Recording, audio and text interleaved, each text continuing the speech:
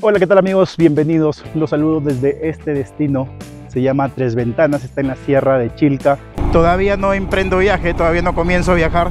No comienzo todavía la tercera temporada, pero estoy haciendo un reconocimiento de ruta. He venido a hacer una ruta cercana a Lima, porque bueno, como les contaba hace un par de videos creo, organizo salidas para diferentes motociclistas que están en Lima, full days o campamentos y he venido a hacer un reconocimiento de ruta para un lugar llamado Tres Ventanas. Y he llegado hasta acá para poder hacerle probablemente la última ruta de esta Royal Enfield Himalayan porque hay muchas probabilidades de que la cambie. Eh, ¿Por qué la voy a cambiar?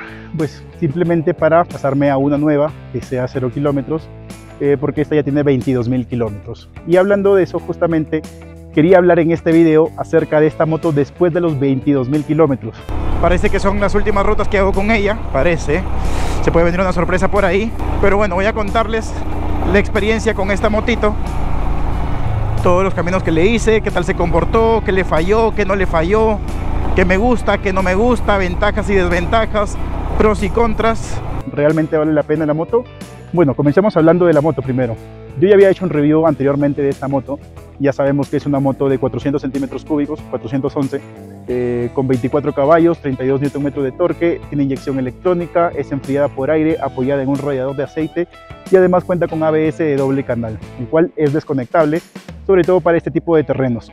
Bueno, la moto estuvo conmigo desde el kilómetro cero, estuvo totalmente nueva, llegué, le asenté motor y después de eso pues Cosas que me gustaron inmediatamente, el confort del asiento es muy muy cómodo el asiento.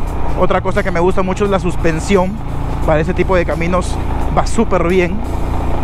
Como ustedes sabrán, yo, les, yo le he hecho muchísimos caminos de trocha, muchísimos caminos complicados, caminos sabrosos como me gusta decirle. Y la suspensión es una de las cosas que mejor se comporta. Para mí la suspensión es una de las mayores virtudes de esta moto. Tiene una suspensión muy buena, un recorrido delante de 200 milímetros y el detrás de 18, 180 milímetros, perdón, 18 centímetros, que hace que en este tipo de terrenos vaya súper, súper bien. Es más, yo diría que este es el tipo de terreno para la cual se hizo esta moto. La altura del asiento al piso me parece un poco baja, sin embargo... Muchas veces me ha salvado. Hay momentos en los que estoy por caminos como este de trocha y de repente encuentro un hueco y llego bien al piso y eso me favorece muchísimo porque de esa manera evito caerme. Si el asiento fuera más alto, sería mucho mejor en algunas ocasiones, pero probablemente me hubiese caído muchas veces más de las que me he caído.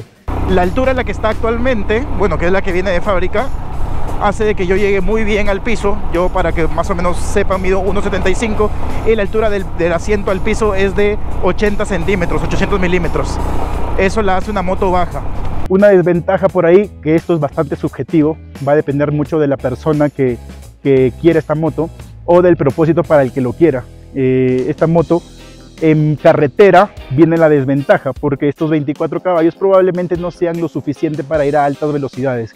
Hay personas que dicen que 400 centímetros cúbicos debería correr a 160, 170, pero bueno, esta no es una moto deportiva, esto no es una moto naked, esta es una moto doble propósito que tiene más torque que caballos precisamente para poder subir una pendiente, una montaña, eh, cerros y yo creo que en ese sentido cumple bastante bien. La virtud de esta moto no pasa por la velocidad. Eh, una velocidad crucero de 100 kilómetros por hora, 110 si quieres, más de eso la vas a forzar mucho, a los 120 o 130 kilómetros por hora, que es a lo que puede llegar. El, motor va muy forzado, la verdad este, para mí los 100 kilómetros por hora es suficiente. Ahorita, por ejemplo, voy subiendo a 30, 40 kilómetros por hora y lo que necesito es más torque que caballos de fuerza. En velocidad final está como entre los 130, 135 kilómetros por hora, pero forzando mucho el motor. Una buena velocidad promedio de esta moto es los 100 kilómetros por hora. Y eso pues va a depender de ti en realidad si es que crees que esa es eh, la velocidad a la que quieras ir. Para mí es más que suficiente. Por ahí que en la Panamericana Norte o Sur, las veces que he hecho costa, es donde requiere un poquito más de velocidad, pero los 120 kilómetros por hora para mí es más que suficiente. La cúpula cumple muy bien su función cortando el viento porque el asiento pues queda más abajito y eso hace que me cubra muy bien del viento y lo pase por arriba.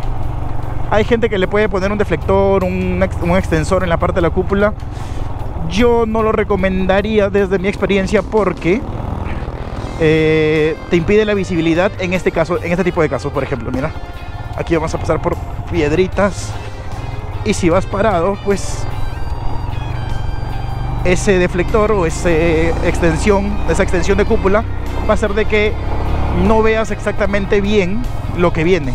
Recuerda que la visión en trocha o en off-road cambia mucho con respecto a la, a la visión en carretera.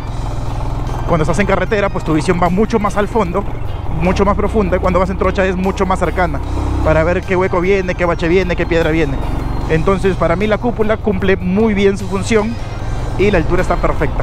La postura también es algo que me gusta muchísimo porque es bastante erguida.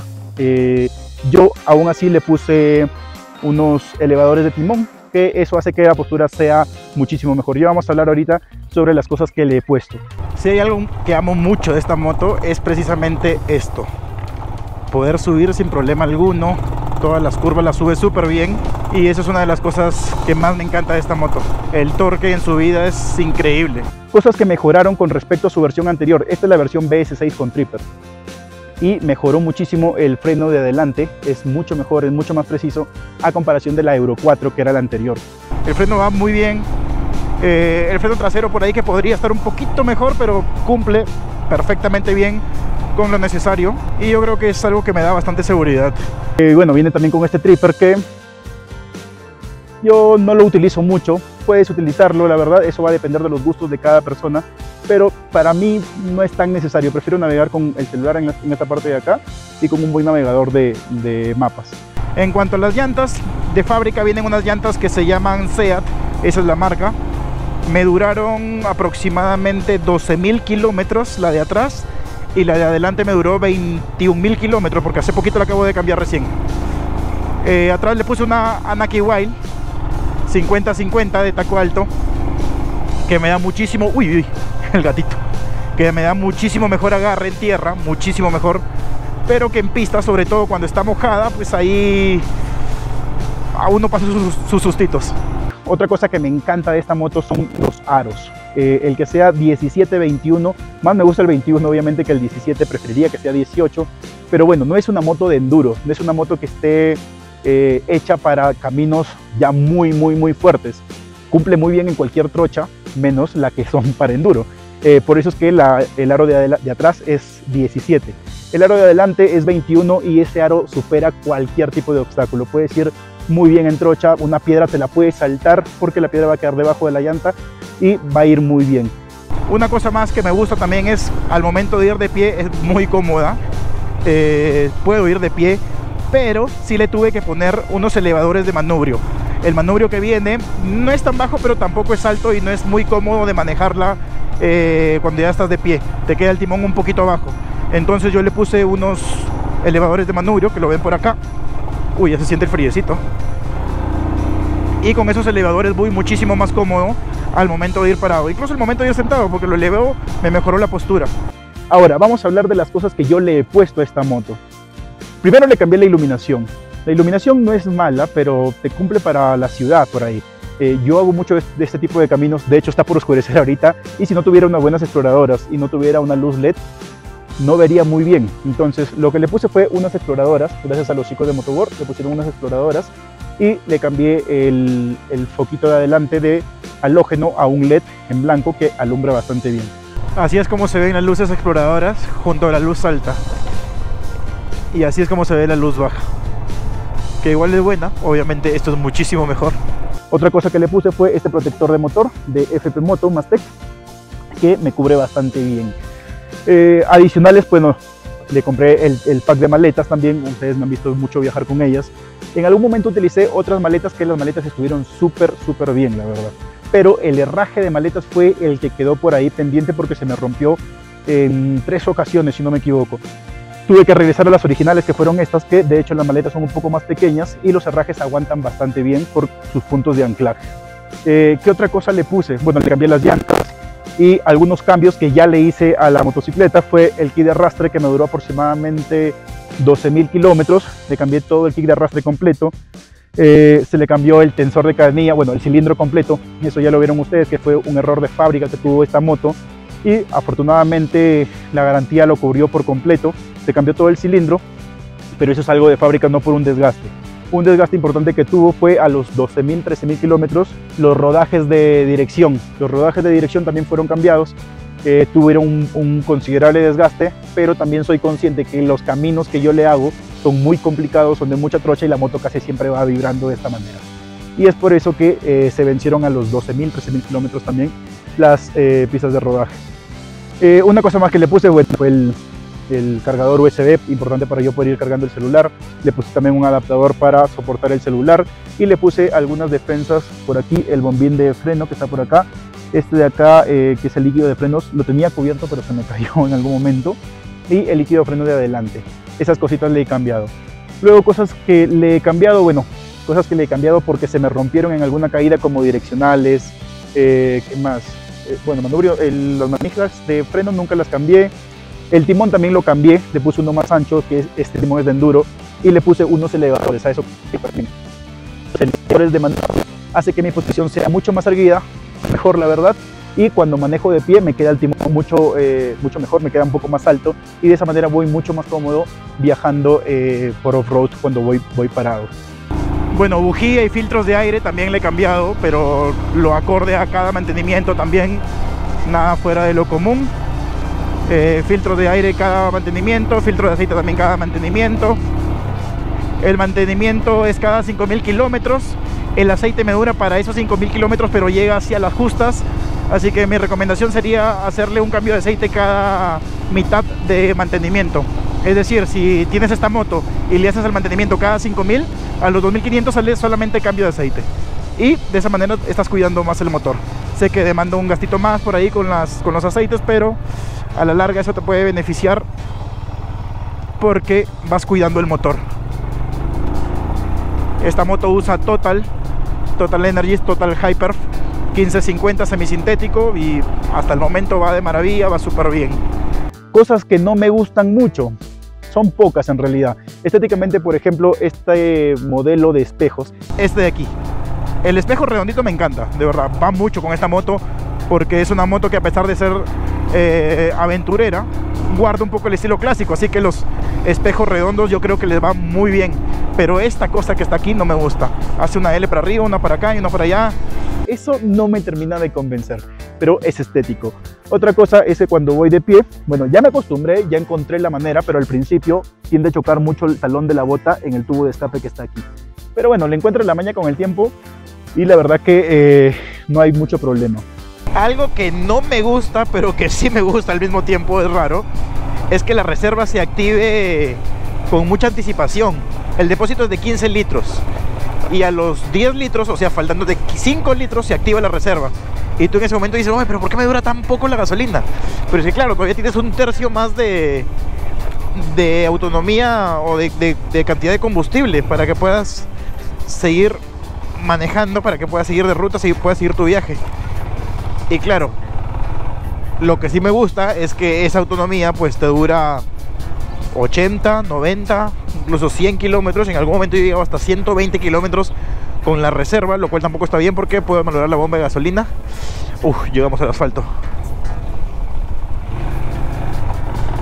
Eh, pero bueno, eso es algo que me gusta y no me gusta. No me gusta que se active tan pronto, pero sí me gusta que la, autonomía de la reserva sea como de 120 kilómetros.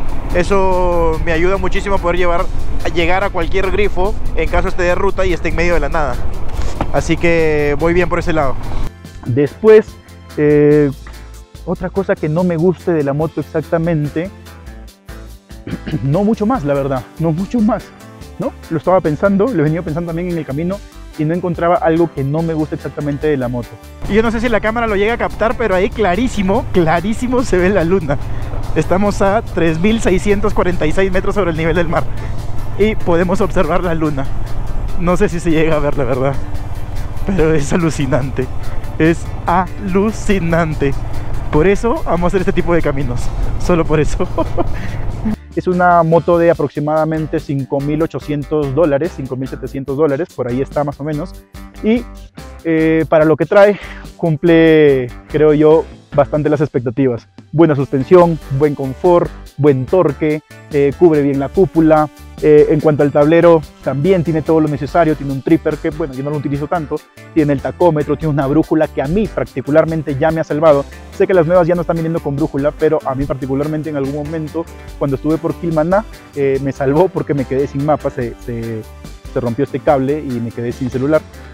Entonces, yo creo que cumple bastante bien. Eh, después de 22.300 kilómetros, no hay mucho que, que, presente esta moto. En algún momento eh, falló un poquito la, bomba de gasolina, pero fue por un tema de, que el cable estaba medio roto.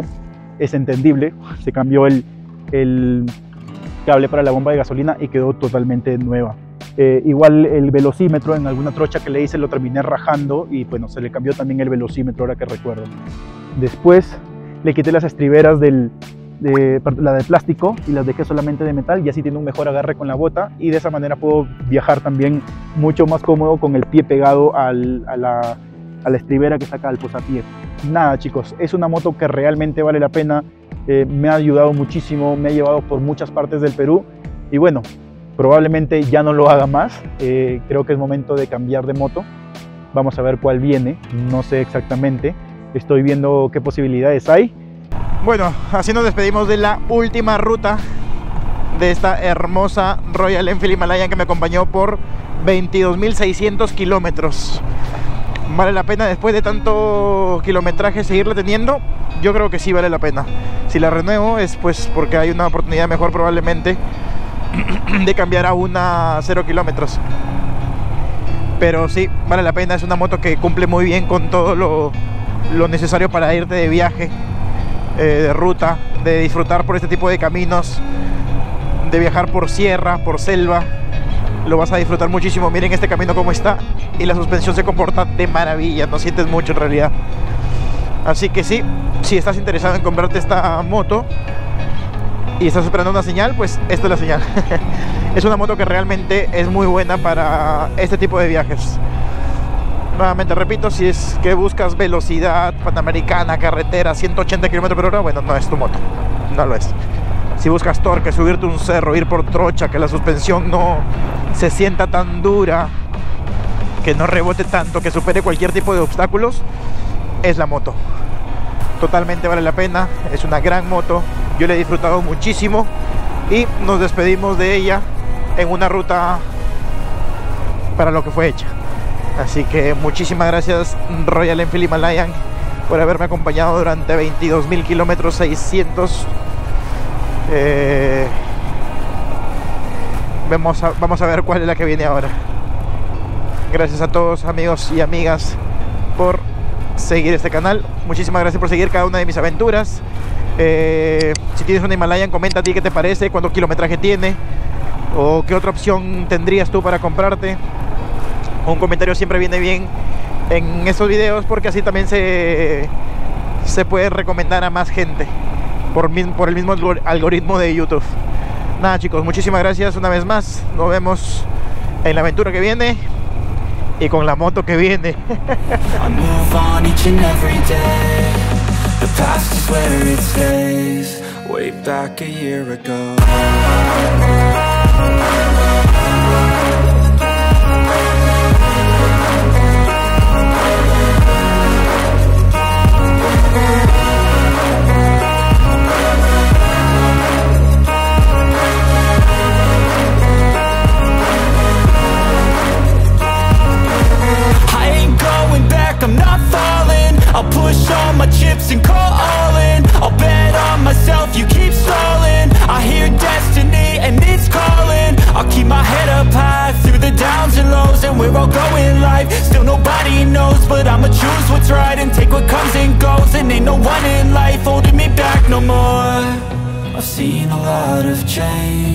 Been through a lot of pain. Some things are not the same As they were a year ago but all will be okay.